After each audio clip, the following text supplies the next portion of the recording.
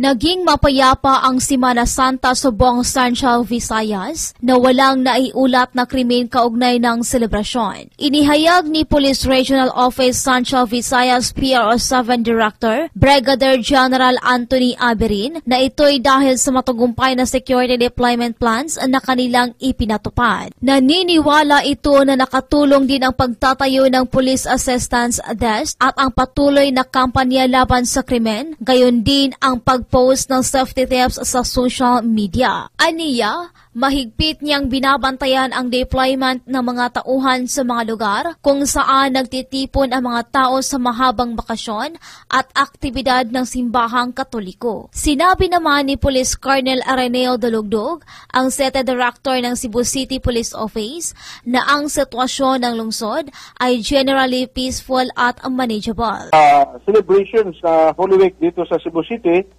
ay uh, makonsider po natin na ay uh, makonsider po natin na uh, generally peaceful dahil uh, wala po tayo mga reported na mga untoward incident like like uh, yung mga na dukutan or mga na, nanakawan uh, ng mga wallet or mga cash lalo na doon yung mga tao doon sa simbahan at saka doon sa terminal.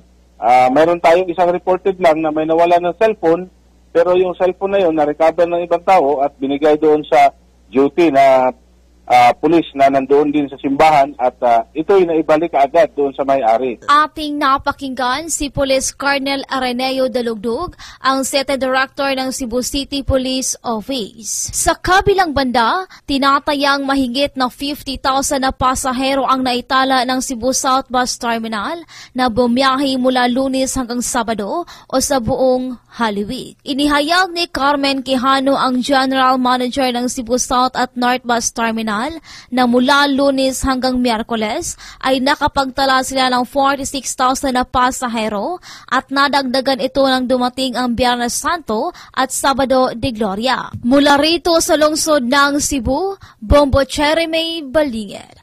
Para sa number one and most trusted radio network in the country, Bombo Radio Philippines. Basta Radio, Bombo!